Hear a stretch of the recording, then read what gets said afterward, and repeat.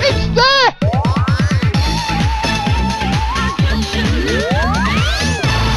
Holy moly, this one's gonna go big! Hello and welcome back to the channel. Right then, fair play. This is territory where I have not dared to tread. I have thought about making a video about fair play, the fair play campaign, over the last couple of years, but I ultimately decided against it. I thought, you know what? I was too close to the original fair play campaign. I was too involved with it. Uh, too emotionally connected to it, I guess. I thought, you know what? Not only am I not going to be able to do this objectively, I've just got kind of too much skin in the game, as it were. I didn't want to pick at old wounds. I didn't want to kind of reignite any old rivalries, even though it's now 16 and 17 years in the past. I just thought it was a place where I didn't want to go with a video. It didn't fit what I wanted to do for the channel. You can see to this day that, that Wizard has his feelings about fair play. If you open up the emulator to this day, you will see the disclaimer about fair play in the opening crawl on the About screen. In fact, we'll just look at that now on the opening crawl. It cannot be used to prove fairness in any shape or form, and, and that really is a descendant, a direct descendant of when it was it's hard to, to put into words now. Like I say, the, the whole thing kicked off in 2003 and kind of um, resolved, if you can call it that, in 2004. It was a very messy, very fractious time for the Fruit Machine emulation scene, and, and I didn't want to go raking over those old culls. However, Fishsta here I think has done a very good job of making a far more objective video about it. He's done a really good job here. He's covered a lot of the, well, all of the history really. He's got a whole lot of archive material up to and including Stuart Campbell's legendary appearance on the ITV programme Scam, where he famously held up a PC RAM chip and said, now, fruit machine ROM, uh, fruit machine programs come on chips like this, and even at the time, people were like, "That's not a fucking fruit machine ROM. Can't anyone get anything right?" And I'm like, "Oh, for fuck's sake!" Ken from Basingstoke doesn't care. It's just for illustrative purposes. You see, I'm getting emotionally invested with it already. This is why I can't do a fucking video on fair play. So what I'm going to do here is hand over to Fishsta. Now, I did know that this was coming because he messaged me on WhatsApp a couple of months ago. Uh, myself and Fishsta here, we've kept in touch over the years. We're friends on Facebook. We've got each other on WhatsApp. And a couple of months ago, he uh, messaged me on WhatsApp with a bit of a random request saying, You haven't still got the uh, Club Tropicana layout and an emulator to run it, have you? And I'm like, I certainly have because I've like kept everything sent them over to him. So it's a bit of a random ask, Fishsta. What do you want them for? He said, uh, I'm making a video.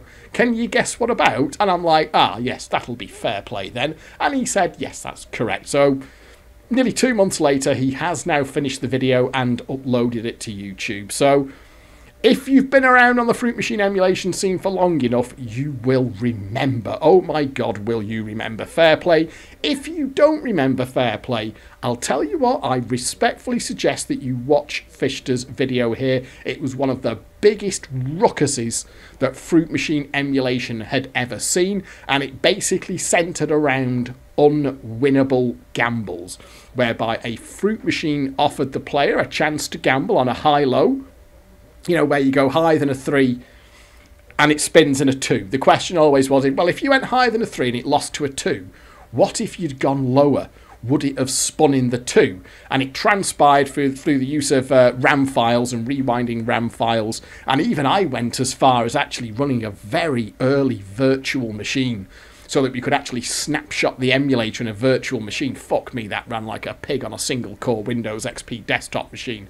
But to actually snapshot the machine in, in the state it was in, and it kind of demonstrated what we had always suspected but never been able to prove that fruit machines do indeed offer unwinnable gambles. I know it seems ridiculous now to even question it. We've all known for years that fruit machines block that, that you will be offered gambles that simply can't be won and that kind of thing. But back in 2003, too, well, it was in 2003 where it kicked off. It was 2004 where it kind of came to a conclusion. But in 2003, this was pretty much headline news, and a lot of people were very surprised by this.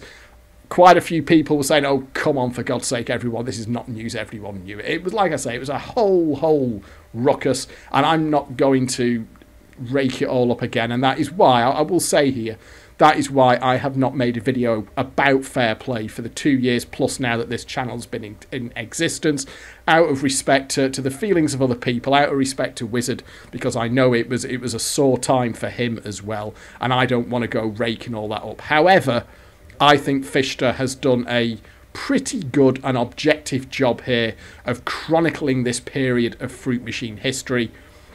Hopefully, it's not going to inflame any, you know, uh, great emotions on either side. I think he's just done a good job here of archiving out a piece of Fruit Machine emulation history and also something about Fruit Machines that many, many people back in 2003 either did not know or suspected but could not prove that Fruit Machines would ask you or invite you to undertake a gamble that you couldn't simply couldn't win whatever choice you made.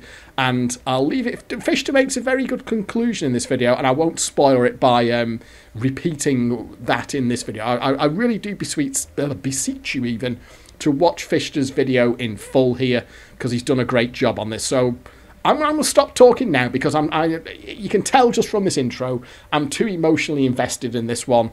I couldn't do it properly, and that's why I haven't done it over the last two years. But I'm going to hand you over to Fishsta because I think he has done a good job. So all you need to do is click on the link in the description of this video, and that will take you straight off here to this video that you've got running in front of you.